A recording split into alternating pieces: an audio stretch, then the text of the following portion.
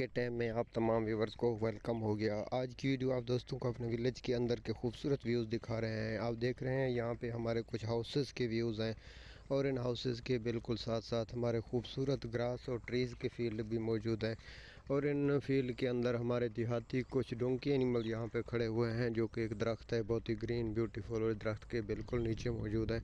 ये जानवर ज़्यादातर होने की वजह से तकरीबन ये हर एरिया में होते हैं, वैसे देहात के अंदर ज़्यादा होते हैं। इस फ़ील्ड में भी मौजूद हैं। आप दोस्तों को ये एरिया कैसे लगा, हमारा एनिमल कैसे लगे? वीडियो पसंद हो तो लाइक और शेयर भी कर दें। शुक्रिया थैंक्स फॉर वाचिंग